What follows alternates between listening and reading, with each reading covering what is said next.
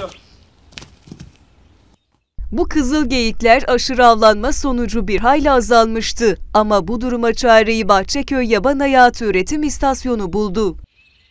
Şöyle ki kızıl geyiklerin nesli Türkiye'nin ilk üretim çiftliği olan İstanbul Belgrad ormanlarındaki Bahçeköy Yaban Hayatı Üretim İstasyonu'nda yeniden çoğaltılıyor.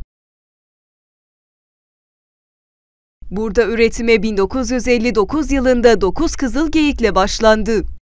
İlk önce 1959 yılında buraya 9 adet kızıl geyik bırakılarak başlanmış ve günümüze kadar gelmiş. Üretim istasyonunun temel amacı ise doğada azalan yaban hayatı popülasyonlarını desteklemek.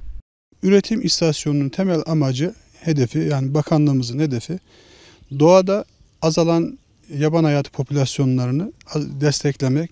Geçmişte var olup ama günümüzde doğal olarak o yaşam alanından kaybolmuş türlerin tekrar alanlara dönmesini sağlamak amacıyla burada üretil yani çoğaltılan bireylerin gruplar halinde bir popülasyon büyüklüğü oluşturacak şekilde 20-25'li gruplar halinde tekrar o yaşam alanlarına, eski yaşam alanlarına bırakılarak orada adaptasyon süreciyle birlikte doğal üre olarak üreyip çoğalmasını sağlamak, orada varlıklarını sürdürmek.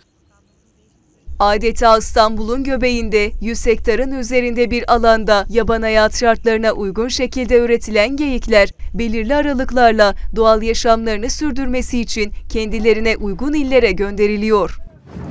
Arkaya! Arkaya kalk!